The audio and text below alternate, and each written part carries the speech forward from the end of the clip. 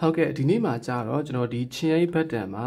အာအပြည့်အများဆုံးဖြစ်တဲ့ battery ပေါ့နော်အထက်က battery ကိုလဲပြပြီးတော့တခြားစစ်ဆေးသိရှိရမယ့်အချက်လက်တွေကိုကျွန်တော်ပြပြပေးသွားမှာဖြစ်ပါတယ်အဲစိတ်ဝင်စားရမယ်ဆိုရင်တော့ video လေးကိုအဆုံးထိလိုက်ပါရှိအားပြအောင်ပြ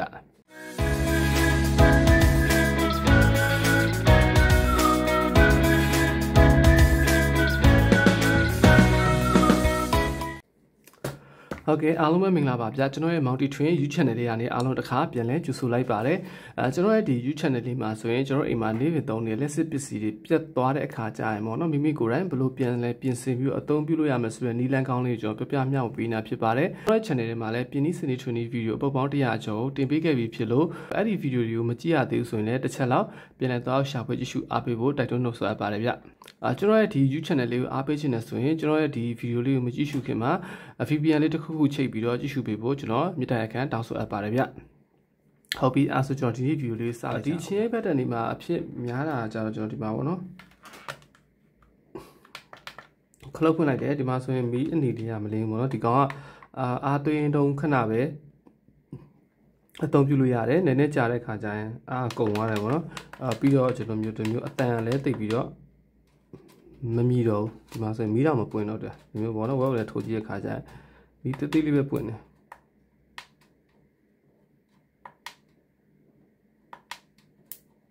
နော်ဒါမီးသေးသေးလေးပဲပွင့်တော့တယ်အားမရှိတော့ဘူးအားသွင်းလို့လည်းကျွန်တော်ခဏပဲအားသွင်းလို့ဝင်တယ်ပေါ့နော်ရေရှိအသုံးမခံတော့ဘူးကျွန်တော်ဒီမှာသူကမီးလေးတစ်လုံးတော့ပါသေးတယ်တော့ဒီမှာမီးလေးတုံးရလဲအဲ့လောက်ပဲလေးနေ နော်အဆင်မပြေတော့โอเคအဲ့တော့ကျွန်တော်ပထမဆုံးဘက်ထရီကိုဖြုတ်လဲမယ်ဘက်ထရီဖြုတ်လဲမယ်ဆိုတော့သူ့မှာပါတဲ့မူလီခေါင်းတွေပေါ့နော်ဒီမှာမူလီခေါင်းတွေအကုန်လုံးဖြုတ်မှာဖြစ်ပါတယ်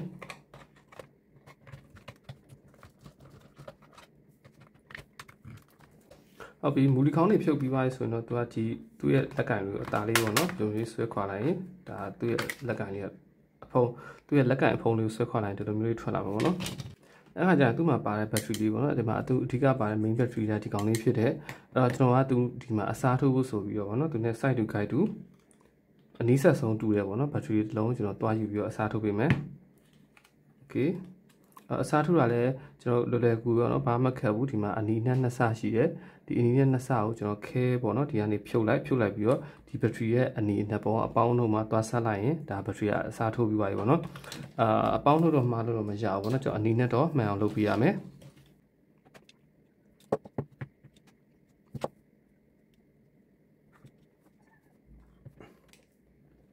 โอเคဒီမှာဆိုရင်ကျွန်တော်ဘက်ထရီလေးအစားထိုးလို့ပြီးသွားပြီပေါ့နော်အဲ့တော့သူ့ရဲ့ဒီ ဘက်ထရီအဟောင်းလေးကိုအရင်ဖို့တိုင်းကြည့်မယ်ဒီကောင်မှာဖို့ဘယ်လောက်ရှိတယ်ဆိုပြီးတစ်ချက်တိုင်းကြည့်မယ်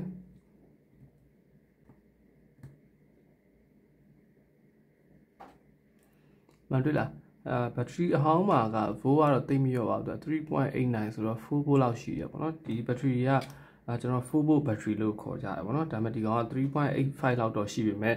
အဲမီလီအမ်ပီယာမရှိတော့ဖြစ်တဲ့အတွက်ကိုအဆင်မပြေတော့ဘူးเนาะအသုံးပြုလို့မရတော့ဘူးမီလီအမ်ပီယာမတောင်းတော့အသုံးပြုလို့မရဘူး โอเคညောတော့ဒီဘက်ထရီအသစ်လေးကိုတိုင်းကြည့်မယ်သူကတော့4.15ပို့ရှိတယ်ဗောနော်4ပို့ရှိတယ်โอเคအဲ့တော့ကျွန်တော်ဒီလိုမျိုးဘက်ထရီကအနည်းဆုံးတိုင်းကြည့်တဲ့ခါကျရင်အဲ4ပို့လောက်ရှိမှပဲအဆင်ပြေတာဗောနော်ဟုတ်ပြီအဲဒါဆိုရင်တော့ကျွန်တော်တို့ဒီကောင်မှာကဒီ ချင်းရဲ့ဘက်တက်မှာကျွန်တော်ဖြစ်တဲ့ပြဿနာကတော့ဒီတစ်ခုပဲပေါ့နော်ဘက်ထရီပြတ်သွားရင်ပဲဘက်ထရီပြတ်သွားတာဘက်ထရီအစ်စ်လဲပေးလိုက်မယ်ဒီကောင်ကောင်းသွားပြီပေါ့နော်အာတခြားကျွန်တော်တခြားစစ်ဆေးရမယ့်အကြောင်းအရာလေးတစ်ချက်ပြောပြပေးမယ်ဒါဆိုကျွန်တော်စမ်းကြည့်လို့ရပြီပေါ့နော်ဒီမှာခလုတ်ဖွင့်လိုက်ပြီနေကြည့်တဲ့ခါကျရင်ကျွန်တော်ဒီမှာမီနီလေးတင်နေပြီအာကျွန်တော်ဒီမှာဒီကောင်လေးတော့ထည့်ကြည့်မယ်ပေါ့နော်ဒီမှာအာဝက်လေးလေးထည့်ပြီးစမ်းကြည့်မယ်လက်တော့မကင်မိစီနဲ့ပေါ့နော်ဒီလက်ကင်လေးရကင်တော့ထည့်ကြည့်မယ်โอเคဒီလားအတန်တော်ကျန်းပါဗျာ ဒီနော်ဒီလိုမျိုးဖြစ်နေရမယ်ရှင်းဘက်တန်ဆိုတာအဲ့လိုမျိုးဖြစ်နေမှရတာဟုတ်ပြီအဲ့တော့တခြားသူ့မှာကျွန်တော်ဖြစ်တဲ့ပြဿနာဘာဖြစ်နိုင်သေးလဲဆိုတော့ကျွန်တော်တို့တစ်ခါလေးပေါ့နော်မီးမပွင့်တဲ့ခါကျရင်ကျွန်တော်ဒီ capacitor လေးကိုစစ်ကြည့်ရမယ်ဒီ capacitor လေးပေါ့နော်သူ့မှာအာသူက short တဲ့ခါကျရင်ဒီမှာဒီ capacitor လေးကသူက high voltage ကိုတူလောင်ပြီးတော့မှဒီ button ကိုလှုပ်ပေးကြပါတော့အဲ့တော့ကျွန်တော်ကြိုးတွေတစ်ချက်စစ်ပေးရမယ်ဒီ button ကိုဒီချင်းစကားကိုသွားတဲ့ကြိုးတွေပေါ့နော်ဒီကြိုးသုံးကြိုးကပြက်နေလားတစ်ချက်စစ်ပေးမယ်အဲပြီးတော့ဒီ capacitor လေးတစ်ချက်စစ်ပေးမှာနော်ဒီ capacitor တစ်ခါလေကြာရင်အဲ capacitor လေးကကွဲပြီးတော့အပ်ပြီးတော့ပြက်နေတာမျိုးဖြစ်တယ်ပေါ့နော်အခါကျရင်ကျွန်တော်ကဒီ capacitor လေးကိုလဲပေးရမယ်အဲသူ့ရဲ့တန်ဖိုးကကြာဒီမှာရေးထားတာဘယ်လောက်လဲဆိုတော့ 2k 2kV 333 နော် 2kV 333J လို့ရေးထားတယ်ပေါ့နော်အရှိက 2kV ဆိုတာကြာ2000 volt လို့ပြောတာ2000 volt ပေါ့နော်သူက2000 volt တူလောင်တဲ့ high voltage ပေါ့နော်ဒီဘက်ကကျွန်တော် voltage ကိုမြင့်ပြီးတော့မှဒီဘက်ကိုပို့လိုက်တာ high voltage မှာ 2kV ကိုတကောင်တူလောင်ပြီးတော့မှတစ်စင်ကောင်းပို့တာပေါ့နော်အဲ့တော့ကျွန်တော်ဒီ capacitor လေးကောင်းမကောင်းအောင်ကြတော့အာမီတာနဲ့သွားတိုင်းလို့မရဘူးပေါ့နော်ဒီမှာဖြုတ်ပြီးတော့ တိုင်းကြည့်နော်ဖြုတ်ပြီးတော့ short ချပြီးတိုင်းတော့တမျိုးပေါ့နော်ဒီ capacitor ထဲမှာ 2kV ရှိနေတော့မှကျွန်တော်မီတာနဲ့သွားထောက်တိုင်းရဲခါကြရင်ကျွန်တော်မီတာပျက်စီးတော့မဖြစ်တတ်တယ်အဲကြောင့်ဒီ capacitor ကို short မချသေးဘဲနဲ့ပါသွားတိုင်းလို့မရဘူးပေါ့နော်အဲဘာလို့ဆိုကျွန်တော်မီတာတွေမှာအများသောအားဖြင့်အာ900ဗို့ကနေ1000ဗို့လောက်ထိပဲအများဆုံးတိုင်းလို့ရတာအဲ 2kV လို့ဆိုတော့2000ဗို့ထိကိုကြာဘယ်မီတာမှတိုင်းလို့အဆင်မပြေဘူးเนาะအားကြောင့်မို့တော်တယ်မီတာဆိုရင်ပျက်စီးသွားမယ်โอเคအာနောက်အရေးကြီးဆုံးတစ်ချက်ကကြတော့ ကျွန်တော်ဘာဖြစ်လဲဆိုတော့ဒီမှာစကားတွေပေါ့နော်ဒီမှာတန်စကားသူက၃ထပ်ရှိတယ်အလဲရဲ့အပေါ်ရဲ့အောက်ရဲ့ပေါ့နော်၃ထပ်ရှိတယ်အဲ့၃ထပ်ကတစ်ခါလေးမှာကျွန်တော်ဖိမိပြီးတော့တစ်ခုနဲ့တစ်ခုသွားထိနေရမျိုးဖြစ်တတ်တယ်တစ်ခုနဲ့တစ်ခုပါလေဒီ၃ထပ်ကကြတော့ကျွန်တော်တို့ကဒီစကားလေး၃ထပ်ကအလွှာချင်းစီပေါ့နော်ဒီလိုမျိုး၃လွှာဒီလိုမျိုးတီးတန့်ဖြစ်နေရမယ်တစ်ခုနဲ့တစ်ခုသွားထိလို့မရဘူးတစ်ခါလေးမှာကျွန်တော်တို့ကဖိမိပြီးတော့အာအမိုက်ဝင်တာပဲဖြစ်ဖြစ်ကျွန်တော်ဖိမိပြီးတော့တန်စကားတွေကသွားပြီးဂျမ်းဖြစ်ပြီးတော့သွားကတ်နေတာပဲဖြစ်ဖြစ်ပေါ့နော်ဒီလိုမျိုးပူးနေတာမျိုးဖြစ်တတ်တယ် ဒီမှာတော့တစ်ခုခုနဲ့သွားပြီးတော့ဖိမိတဲ့ခါကျရင်ကျွန်တော်တန်စကားတစ်ခုတစ်ခုကတ်နေဖြစ်တတ်တယ်အဲ့လိုမျိုးကတ်နေဖြစ်တဲ့အချိန်ကျရင်ကျွန်တော်ကချင်းသွားရိုက်လဲရှော့မဖြစ်တော့ဘူးမီးမပွင့်တော့ဘူးအဲဘာဖြစ်လို့လဲဆိုတော့သူကငကိုတွေကဒီကောင်က short ကြပြီးသားဖြစ်နေတဲ့အတွက်ကိုဟိုချင်းကို short မရိုက်နိုင်လို့ပေါ့နော်ဒီတန်စကားသူကသူ short ကြနေဖြစ်တယ်အဲ့ဒီကိုချင်းရိုက်တဲ့ခါကျရင်မီးမပွင့်တာမျိုးဖြစ်တတ်တယ်โอเคနော်အဲ့တော့ကျွန်တော်တို့ဒီ ပုံမှန်အားဖြင့်ကျွန်တော်ရေဘူးရအဖြစ်ဖြစ်တတ်တဲ့ပြဿနာတွေကတော့အဲ့လောက်ပါပဲ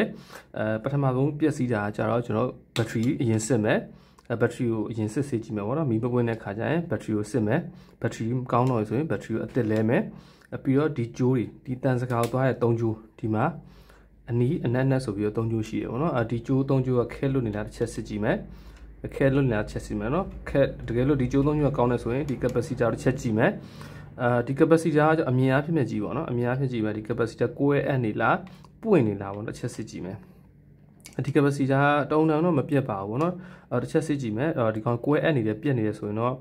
အဲသူ့ရဲ့တန်ဖိုးအနည်းဆက်ဆုံးပေါ့เนาะ 2kV 1kV အဲတကယ်လို့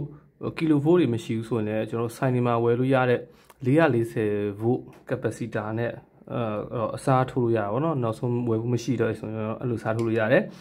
အဲပြီးတော့နောက်ဖုန်းတစ်ချက်ကြာတော့ဒီစကားတွေတစ်ခုတစ်ခုညီးနေလားဆိုပြီးတော့တစ်ချက်စစ်ပေးမယ်ပေါ့နော်အဲ့ဒီအချက်လက်တွေကိုစစ်ပေးလိုက်ပြီးပါဆိုရင်တော့တုံတန်အောင်ဒီချင်းဘက်တန်ကတော့ပြန်ပြီးတော့ပြင်လို့ရပါတာပေါ့နော်ဒီချင်းဘက်တန်နဲ့တုံတန်အောင်ကြာတော့လေအများကြီးထိခိုက်ပျက်စီးတာမျိုးတော့မရှိဘူးပေါ့နော်โอเคဒါဆိုရင်ကျွန်တော်ဒီနေ့ပြင်တဲ့ချင်းဘက်တန်လေးကပြီးသွားပြီပေါ့နော်သူကပြဿနာလေးကဒီဘက်ထရီလေးပဲမကောင်းတာဆိုတော့ဘက်ထရီလေးဖြုတ်ပြီးတော့လေးပေးလိုက်အောင်မယ်ကျွန်တော်ထပ်ပြီးတော့မှ တခြားသိရှိရမယ့်စစ်ဆေးရမယ့်အကြောင်းအရာလေးတွေချက်ပြောပြပေးသွားဖြစ်တယ်။ Okay အားလုံးပြင်ဆင်ပြီးသွားပြီဆိုတော့ဒီကောင်လေးကျွန်တော်အဖုံးပြန်ပိတ်ပြီးတော့အချော်တက်လိုက်ရုံပါပဲဗျ။ဟုတ်ပြီအဲဆိုကျွန်တော်ဒီနေ့ဗီဒီယိုလေးကိုဒီမှာပဲအဆုံးသတ်လိုက်ပါတော့အဖုံးပိတ်တာလေးကျွန်တော်မပြတော့ဘူးဒီအဖုံးပိတ်တာဘာမှခက်ခဲဘူးဆိုတော့လေကျွန်တော်ဒီနေ့ဗီဒီယိုလေးကိုဒီမှာပဲရှင်းထားလိုက်တော့မယ်အဲဒီနေ့ဗီဒီယိုလေးကိုလည်းအားလုံးကျင်းနေနှစ်သက်ပြီးတော့သဘောပေါက်နားလည်ကြမယ်လို့ကျွန်တော်မျှော်လင့်ပါတယ်အဲထပ်ပြီးတော့သိချင်တဲ့အကြောင်းအရာရှိရင်လည်းကျွန်တော်ကို comment မှာမိမိသိချင်တဲ့အကြောင်းအရာကိုဝေဖန်အကြံပေးပြီးတော့မေးမြန်းသွားနိုင်ပါတယ်ဗျ ကျွန်တော်ရဲ့ဒီ YouTube channel လေးကိုကြိုက်နှစ်သက်တယ်ဆိုရင်တော့ like and share လုပ်ပြီးတော့အားပေးသွားလို့ရပါတယ်ဗျနောက်ထပ်ပြီးလည်းစိတ်ဝင်စားစရာကောင်းတဲ့ video အသစ်တွေကိုကျွန်တော်ကအမြဲတမ်းစူးစမ်းပြီးတော့ဖန်တီးတင်ဆက်ပေးနေမှာဖြစ်လို့ကျွန်တော်တင်ဆက်ပေးမယ်နောက်ထပ် video အသစ်တွေကိုကြည့်ရှုချင်တယ်ဆိုရင်တော့ကျွန်တော် channel လေးကို subscribe လုပ်ထားပြီးတော့စောင့်မျှော်ကြည့်ရှုဖို့မမေ့ပါနဲ့ဗျဒီနေ့ video လေးကိုကြည့်ရှုအားပေးတဲ့ပရိသတ်ကြီးအားလုံးလည်းကျေးဇူးအများကြီးတင်ပါတယ်နောက်ထပ်နောက်ထပ်လာမယ့် video အသစ်မှာလည်းအားလုံးလည်းနောက်တစ်ခါပြန်လဲဆုံတွေ့ပါအောင်မယ်ဗျ bye bye